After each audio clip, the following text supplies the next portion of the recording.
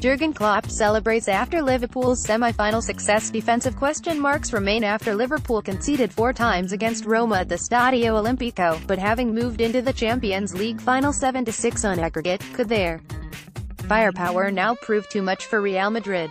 Cristiano Ronaldo, Karim Benzema and the rest must have been licking their lips as they watched Roma carve open Liverpool's defense at the Stadio Olimpico.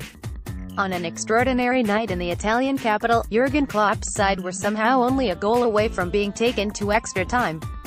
The disarray in the closing stages raised familiar questions of Liverpool's defense, but it should be pointed out that they had only conceded 9 goals in 13 Champions League games before Wednesday.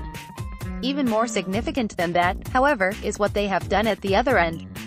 Liverpool were on the back foot for long periods in Rome, but with Sadio Mane and Georginio Wijnaldum's goals, they took their overall tally in this season's competition to 46 in 14 games, setting a new Champions League scoring record in the process.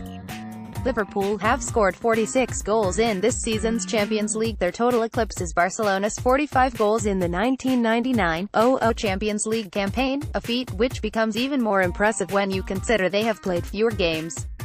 Liverpool's strike rate of 3.3 goals per game is the highest in the history of the competition.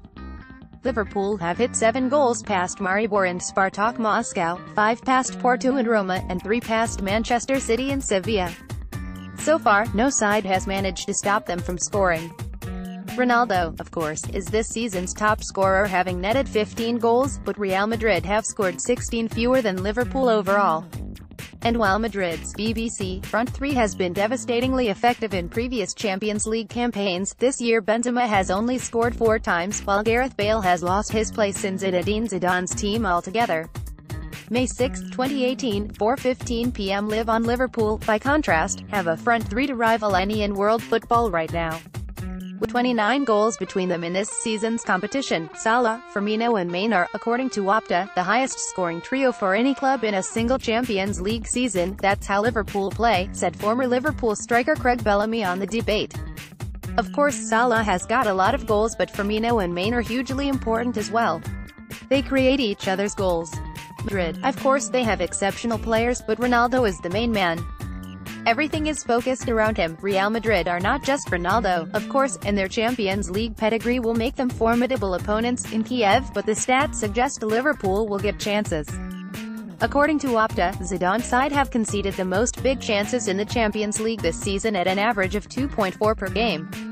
Real Madrid have conceded an alarming number of chances Bayern Munich were unable to take advantage of that vulnerability over the two legs of their semi-final, but recent evidence suggests Salah, Firmino and Mane are unlikely to be so wasteful. I think they've got a hell of a chance, added Danny Murphy on the debate. I know we've talked about Real Madrid going forward, but I don't see Real Madrid play and never not concede a load of chances. They might score but I think Liverpool will create so many chances against them. I think if Liverpool could have chosen Madrid or Munich, they would have chosen Madrid. Jurgen Klopp congratulates Mohamed Salah Liverpool's counter-attacking threat could be decisive. The way Madrid play will suit Liverpool, added Bellamy. They don't track runners, you can run off the back of them. Experience will be important but this Madrid team isn't as good as the Madrid teams of the last two, three years. This is a very, very good opportunity for Liverpool. Their defensive struggles in Rome will be a concern to Klopp, but the omens are encouraging, too. In three of the last five Champions League campaigns, the top-scoring side have ended up lifting the trophy. If Salah, Firmino and Mane can continue in the same vein in Kiev, Liverpool will be confident that their goals will lead them to glory. Comment below to get involved in the debate but please adhere to our house rules. If you wish to report any comment, simply click on the down arrow next to the offending comment and click Report.